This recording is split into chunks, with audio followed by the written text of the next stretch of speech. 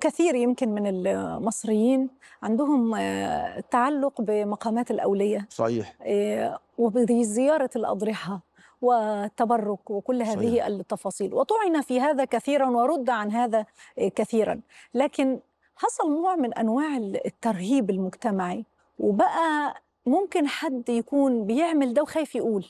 اللي حصل في المجتمع ده بعد كل عقود التطرف اللي مرينا بيها وواجهناها الآن كيف يصلح؟ خلينا نقول بس إن إن مع تفسير الحالة برضه. طبعا. اتفضل. خلينا نقول بس إن في مثلث اسمه مثلث التو- التوهيم مم. بيصنعوا بيستخدموا دايما المتطرفين. المثلث الأول يجي بدليل اسمه دليل المظلومية. آه.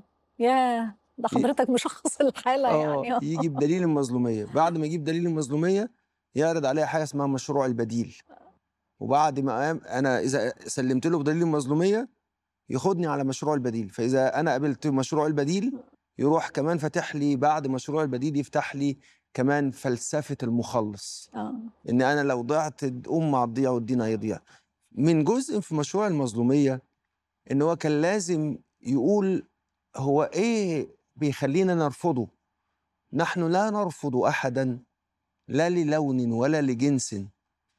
الأهل الله عشان بس الناس تعرف إن مصطلح أهل الله أهل الله لا يرون إلا الله لا يرون إلا الله في أنفسهم فيرون أنفسهم لا شيء ولا يرون إلا الله في الناس فهم دول أهل الله لدرجة إن هم يرون يرون الله في كل شيء فيرون الحب لكل شيء لدرجة إن هم بيطبقوا قوله صلى الله عليه وسلم أحد جبل نحبنا ونحبه آه، يحبنا فلما ونحب. شافوا فلما شافوا سمعوا إن رسول الله صلى الله عليه وسلم قال إن رجلا دخل الجنة في كلب مثلا آه فإيه اللي حاصل؟ فصنعوا مساقي للكلاب. ويجي واحد مثلا أنا شافعي. آه. وعندنا حكم فيما يتعلق بنجاسة الكلاب. فكانوا يتعبدون الله يتعبدون الله بتطهير مساقي الكلاب. آه. فاذا هؤلاء الناس منفتحون على الجميع.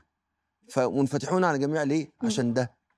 فتخيل حضرتك والسادة المشاهدين إن في حد يجي يقول على دول إن إحنا عايزين نطهر الدين منهم آه. ليه يا سيدي قال والله لأن عقيدتهم مش سليمة في الله آه ده دول اللي. ده دول اللي آه. بيعيشوا بلا حول ولا قوة إلا آه. بالله ولا إله إلا الله قال لأ ما إحنا لازم نجد سبب ايديولوجي عشان نفصل على الناس دي مم. فنعمل إيه فنجيب بقى كل شبهات ال- الشبهات اللي عندنا الشبهات العقائدية دي فيأتي بتصور عن التوحيد ليس له علاقة بالمسلمين. رسول الله يقول له أقتلته بعد أن قالها يا أسامة؟ لا، آه. ماذا تفعل إذا جاءت لا إله إلا الله تجادل عنه يوم القيامة؟ مم. فإيه اللي حاصل؟ فإحنا بقى عندنا مفهوم عند أهل الله اسمه مفهوم المسلم الصعب. إيه المسلم الصعب ده؟ الذي ماله ودمه وعرضه حرام. آه. فما ينفعش نتكلم فيه. لكن أصدقائنا ون- وأصحاب التدين الكمي حبوا يعملوا إيه؟ حبوا يعملوا مظلومية. إحنا مش رافضينكم. أنا ليه قلت كل الكلام. ده؟ نحن لا نرفضكم. ولكن لا نقبل أفعالكم. أنت أنت كإنسان أنت كإنسان عندي مكرم محترم. ودوت هو الاتزان اللي عندي. أنت كإنسان أنت متزن. لكن هذه الأفكار أنا أراها فسادا. أنا أراها أفكارا شيطانية. أنا أرى هذه الأفكار مكتوب علي أنا خير منه. أنت بطبقيتك تطبق أنا خير منه. أنت بطبقتك تقول نحن أبناء الله وأحباؤه. آه. بتقول ده بتقول ده على من يوحدون الله على من يعبدون. الله على من يحبون الله. هذا هذا الرقيق سيدنا عثمان بن مظعون آه. كان من أكثر الناس حبا لرسول الله وكأنه زي سيدنا أبو بكر. لا يتحمل أن يتكلم رسول الله عن حبه. وسيدنا معاذ لأنه فقيه. وعالم فرسول الله سهل إن هو يقول له إني لا أحبك يا معاذ. لكن لا- بيرققه بال... آه بال... عشان هو بالحب. سيدنا معاذ آه. يتحمل لكن لو آه. قال كده لسيدنا أبو بكر سيدنا أبو بكر يذوب. آه. يعني هو سيدنا أبو بكر لا يتحمل ده. مم. ولذلك لما أت آه، لما أتت الآية في القرآن ومين أكثر آه، أكثر استحقاقا؟ لو في المسألة بالاستحقاق يعني. أن يذكر اسمه في القرآن سيدنا زيد بن حارثة ولا سيدنا أبو بكر؟ آه. سيدنا أبو بكر. آه.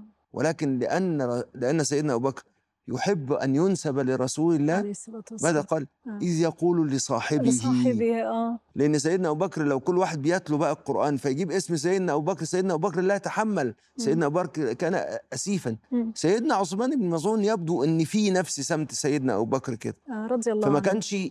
في كلام كتير لكن رسول الله كان. يحبه حبا جما. فلما توفي قال لهم علموا لي قبر أخي عثمان بن مظعون أدفن إليه مم. أدفن إليه طب ما رسول الله هو اللي بعلمنا. هذه الطريقة آه. إن إحنا ندفن إلى آه، جوار مقابر الصالحين هتقولوا إن ده خاص بسيدنا عثمان بن مظعون آه. ما عندناش دليل خصوصيه الدليل الخصوصيه ده. عندك الأمر الثاني أنه لم يرد ولم نرى احدا يعتقد أن غير الله ينفع ينفع. ينفع أو يضر ابدا لما نيجي تقول كده هو هو فعل سنة رسول الله عليه صلى الصلاة والسلام. رسول الله هل يمكن أن يرس- أن يعلمنا رسول الله العبث. حاشاه صلى الله عليه وسلم الله. إحنا لما بنمر على المقابر بماذا نفعل. نقول السلام عليكم دار قوم مش كده آه. أنتم السابقون ونحن بكم إن شاء الله لاحقون. طب ما إحنا بنكلم ناس بيفهموا بيسمعوا ولا لأ آه. إذا كانوا يسمعون ورسول الله وقف على قليب بدر وكلم المشركين وقال إن وجدنا ما وعدنا ربنا حقا فهل وجدتم ما وعدكم ربكم حقا قالوا يا رسول الله كيف تكلم أناسا وقد أرموا. قال إنهم أسمعوا إلي منكم آه. فرسول الله أثبت لأهل المقابر عليه سمعا آه. وأثبت لأهل المقابر بأنهم يردون. يبقى إذن إيه اللي حاصل يبقى إذن ونحن عندما نسلم على أهل المقابر السلام عبادة ما ينفعش. إن أنا أعبث بيها. فأنا لما أسلم عليه فأنا أعتقد إن هو يرد يبقى علي مصطلح السلام زي